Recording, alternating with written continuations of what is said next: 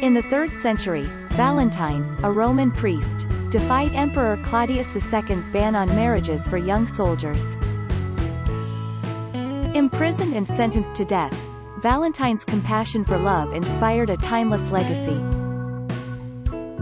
Celebrated on February 14th, his martyrdom became a symbol of love triumphing over adversity. As centuries passed, the day evolved. In the Middle Ages, Valentine's Day gained a romantic association in literature and poetry.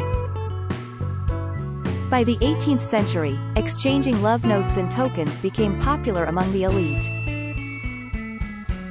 The Industrial Revolution ushered in mass-produced cards, leading to the commercialization we see today.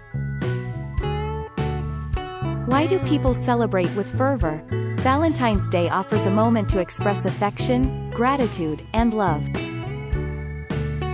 It's a day to celebrate romantic relationships and the bonds that connect us.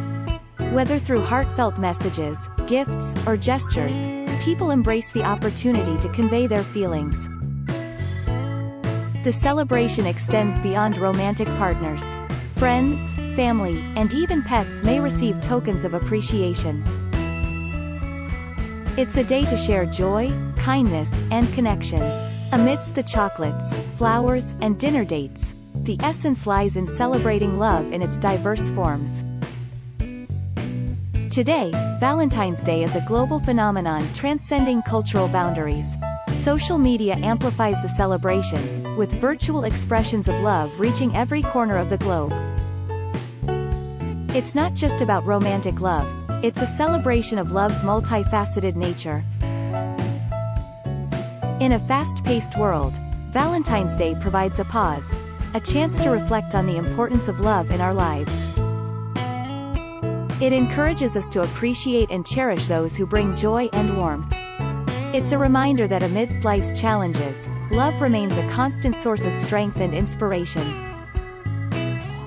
As we exchange tokens of affection, send love notes, or enjoy a special meal, Valentine's Day weaves a tapestry of shared moments. It's a day when emotions are celebrated, and connections are strengthened. In its modern form, Valentine's Day is a beautiful reminder that love, in all its forms, is a force that unites us and makes life richer.